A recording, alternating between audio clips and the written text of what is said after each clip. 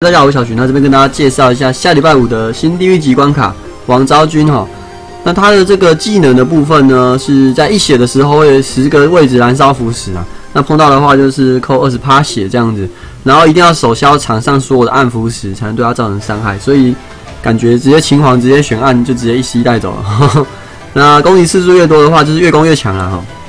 那二血的话比较麻烦，二血的话呢，它是。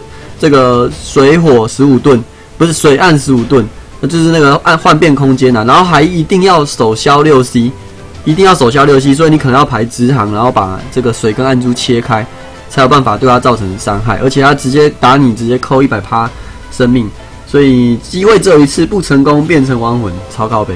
好，所以这边一定要带排珠卡哦，不然就直接带青石皇哦，直接转暗水暗。哎，暗水暗也不行，也是要稍微排一下这样子哈，因为要刚好十五十五哦。哎，秦皇其实不用，你选这个水珠，水珠二十颗，暗十颗啊，暗珠就靠天降就好了嘛。哎，但是你一定要排出排出六十一岁还是需要排珠，真的很靠背的一个技能。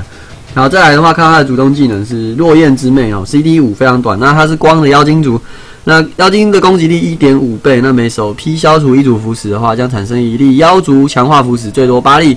哦，那它是可以一直持续的，持续到没有消除种族腐蚀。哦，那很明显，它就是蛮适合可以放在三藏队里面的哈，因为三藏就是非常需要种族腐蚀的哈，特别是像妖精之前可能比较比较没有，对不对？所以它应该是蛮适合放在妖精放在三藏里面。比较可惜的是，它只有妖精增伤一点五倍而已，而且它产生的妖族强化腐蚀，呃，三藏也只能吃到这个种族腐蚀的增伤，它并并吃不到这个，因为三藏本身也不是妖族腐蚀嘛。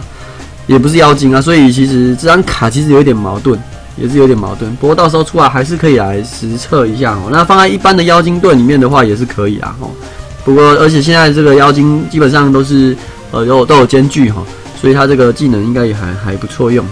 那蛮推荐可以练一张的啦。哈，那以上就是关于这张新卡的资讯。那喜欢我影片的话，记得帮我按个订阅，右下角帮我按个喜欢。那我们下部影片见，拜拜。